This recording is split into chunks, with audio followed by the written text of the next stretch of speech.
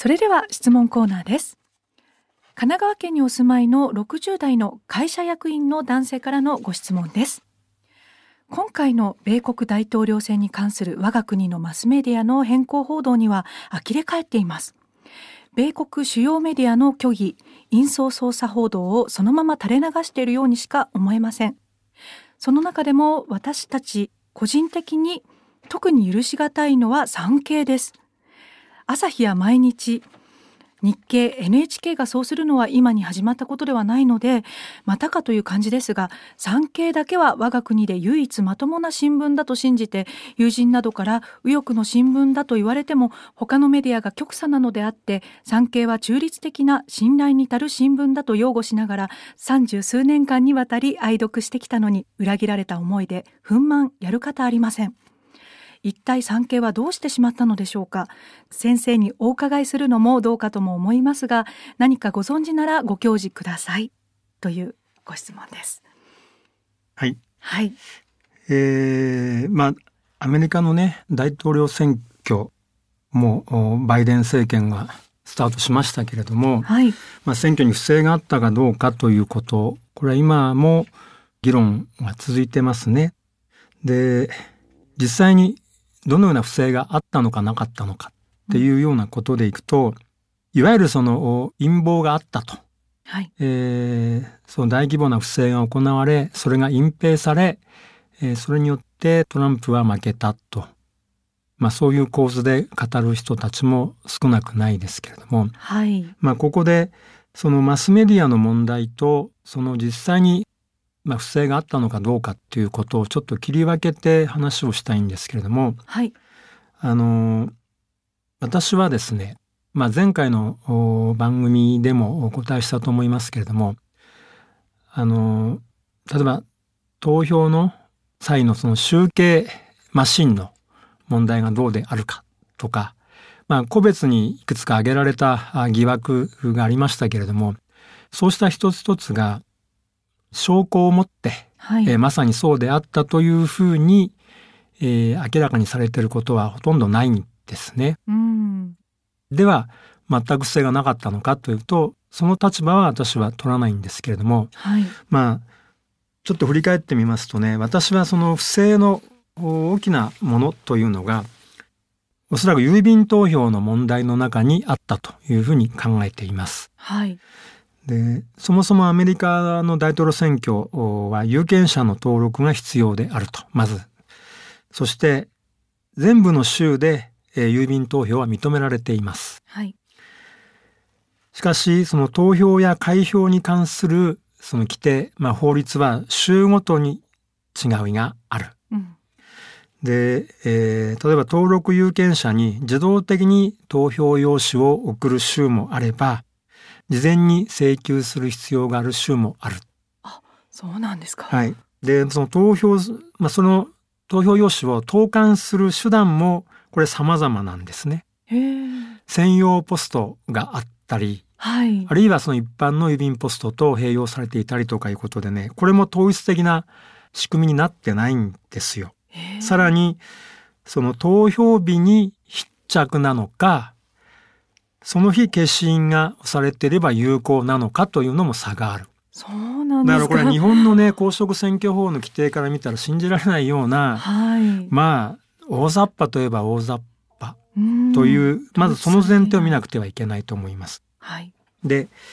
えー、この郵便投票に関してトランプがやっぱりこれ不正の温床になるんだということで、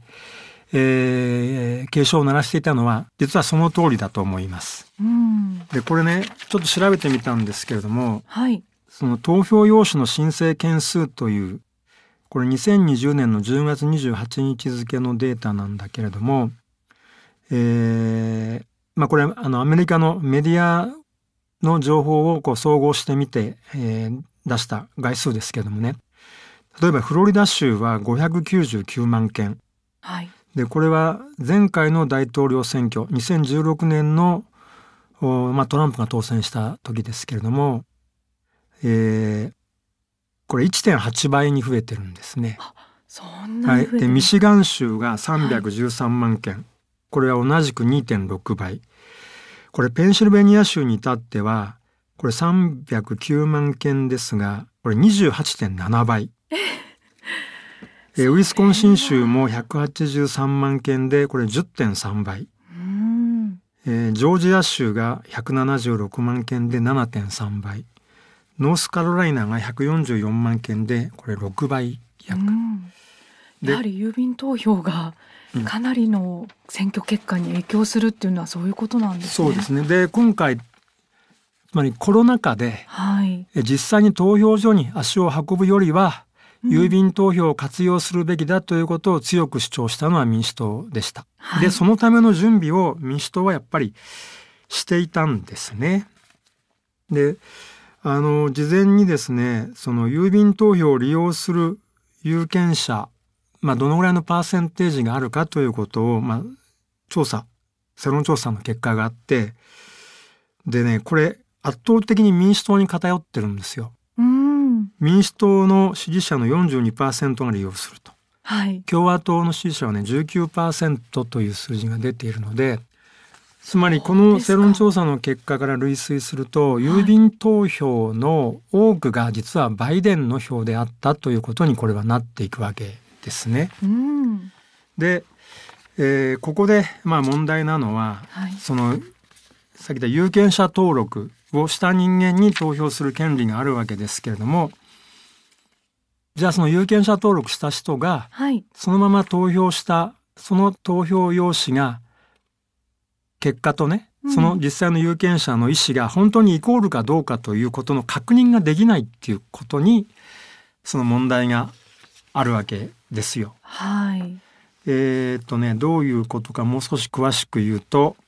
あの前回投票収穫という話をしたと思いますけれども、はい、つまりその収穫人という人間がその有権者のその投票用紙を一定数集め取りまとめて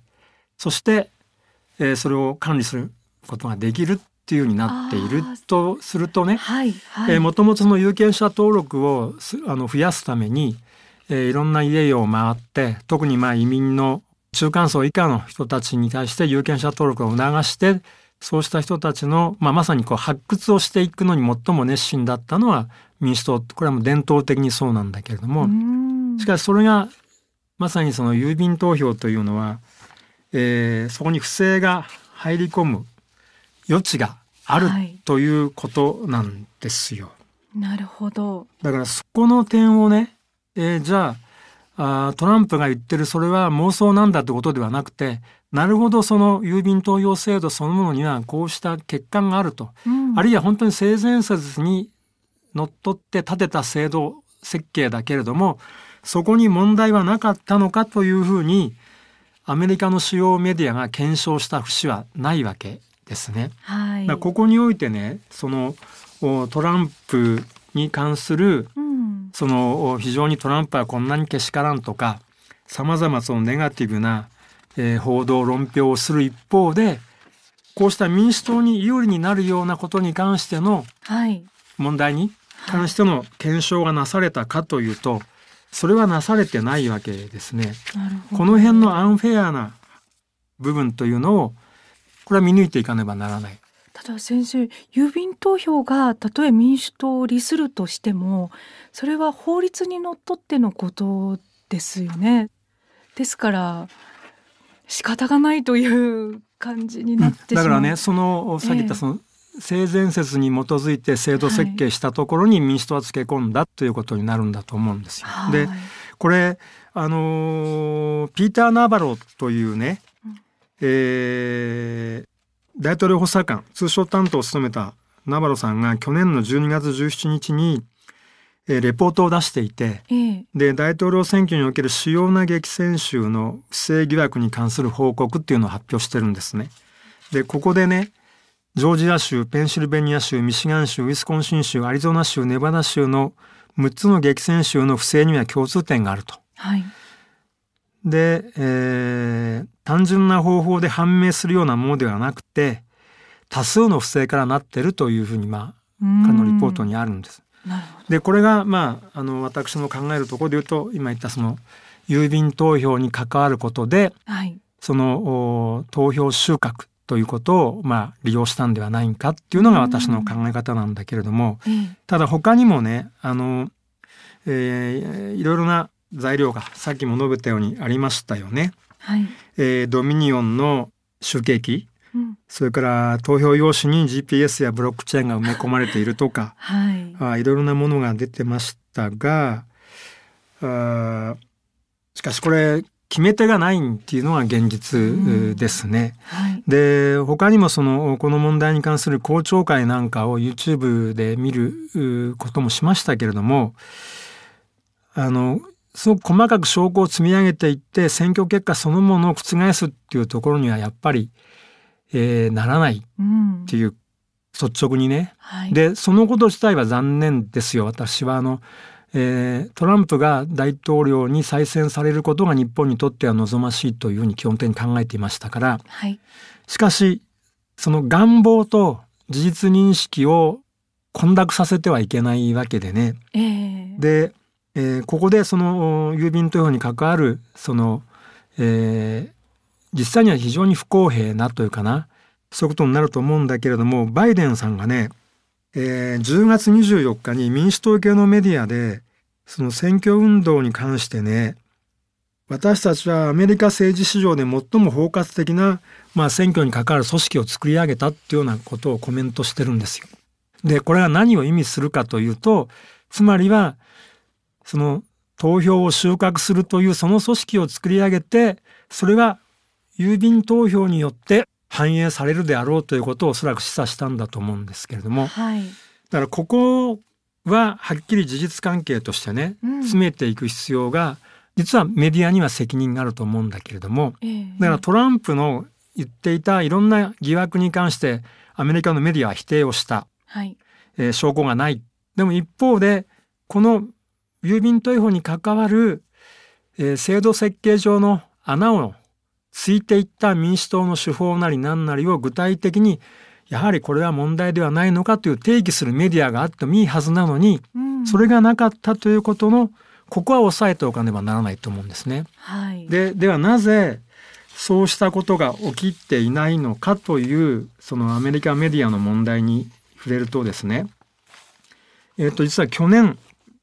10月にまあ翻訳が出ました「失われた報道の自由」という本があってはい。これはあのマーク・ル・レビンさんという方が書いた本なんですけれども、えーまあ、帯の文句を見るとね日本人だけが知らない真実。なぜ米国一流メディアは変更報道を続けるのかニューヨーク・タイムズや CNN を鵜呑みにしてはいけないという、まあ、アメリカの研究者による実証的な本なんですけれどもはい。そこにね、えーその冒頭の章でこのレビンさんはこう語ってるんですね。えー現代のメディアでは報道に携わる人々自らが報道の自由を踏みにじっている。報道の自由が失われているのは政府による弾圧や抑圧があるからでもドナルド・トランプ大統領がメディアを非難しているからでもない。うん。原因は放送局や新聞社、そこで働くジャーナリストたちにある。かつてニュースといえば客観的な事実を集めたものだったが、今は社会運動、ソーシャルアクティビズムやプログレッシブ集団。これはね、えー役者の中がついていて、米民主党急進左派を中心とする勢力。あ経済や社会などの問題解決で政府による積極介入を施行と。まあこういう集団。あ。はい。その意見。米民主党を支持する論調で埋め尽くされている。うん。特定の意見やプロパガンダをニュースとしてまことしやかに流し、メディアが作った偽物の出来事をあたかも事実のように報道し、時にあえて事実を報道しないという選択をする。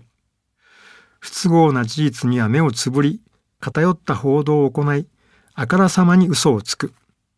中立かつ独自的な独自性を持つ視点は消え、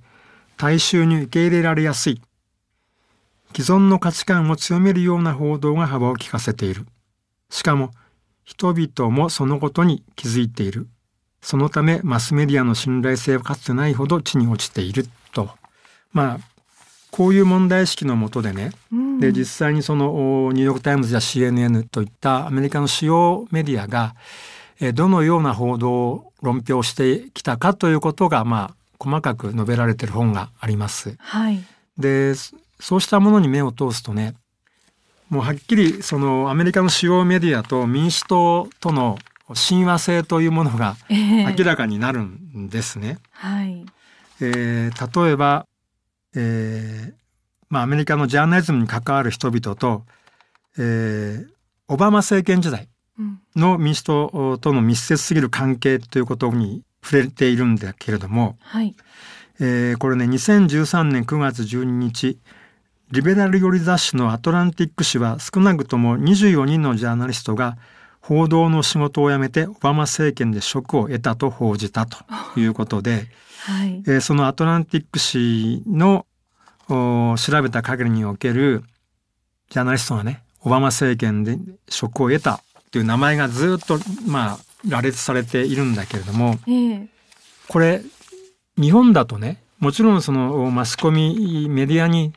働いていた人間があ政治家になることはあります。はいし。かしそれは選挙を経て政治家になっているという手続きがある。しかしこの彼らはそういうことではないんですよね。うん。アメリカの場合は。どういう起用のさいやもうれ方なんですか完全にだからポリティカルアポインティだからはい。その政権がはい。じゃあこの人間を使おうということで、えー今のアメリカの主要メディアのお人々と、えー民主党政権あるいは民主党がどれほど近い関係にあるかっていう一端がこういうことにも見えるということを示唆しているえーことなんですけれどもはい。つまり今のアメリカの主要メディアというのはまあトランプもアメリカのメディアはフェイクニュースばかり流しているというえー非難をしていましたね。はい。えーそれは全く根拠のない話ではなくて今言ったようにアメリカのジャーナリズムそのものが